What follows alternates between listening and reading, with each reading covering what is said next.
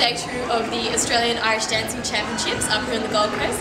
Um, we're speaking to the winner of the 11 years section, Isabella from Halloran in New South Wales.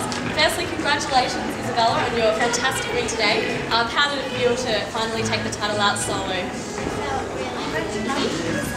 Um, because you, the last two years you've been equal at first with another another girl, so so it's really good to win on your own terms.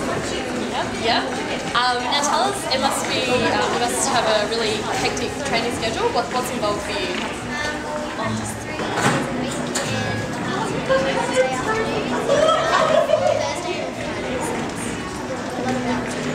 And do you practice at home by yourself? Now, um, Halloran are doing um, other types of dancing. Do you just do Irish dancing or anything else?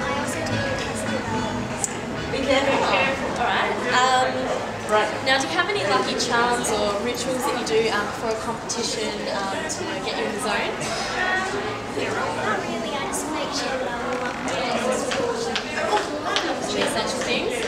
Um, what was the best advice you've been given by maybe teachers or an older dancer today? Um, just go out there and give it a shot and enjoy it. Good advice from Isabella. Um, stay tuned for more IDTV coming up.